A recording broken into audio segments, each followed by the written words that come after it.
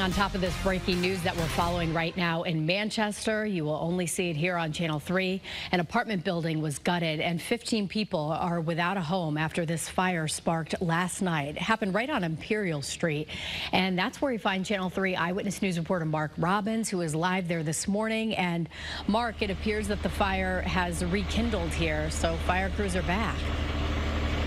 Yes, uh, three engines from Manchester Fire have arrived. I actually made the call a little more than a half an hour ago when I called 911. We saw smoke billowing out of the middle of the building that was uh, on fire, fully uh, on fire on Friday evening, a little after 1015.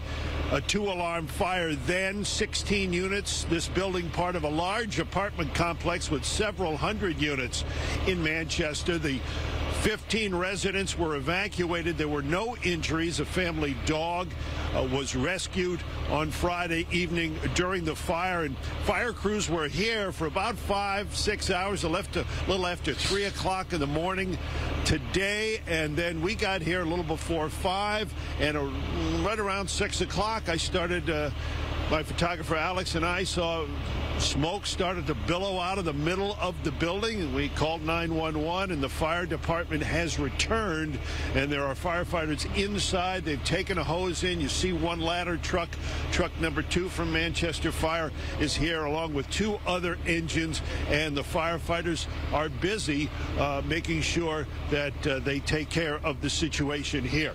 So uh, that is the situation right now. Exclusive look at uh, the manchester fire department hard hard at work uh, doing what they do best. I mean, we'll keep you up to date uh, on the situation. It doesn't look like any other buildings are being affected right now, nor is there any sort of evacuation. So it looks like it is being contained to this one building that, again, caught fire on Friday evening. Reporting live in Manchester, Mark Robbins, Channel 3, Eyewitness News.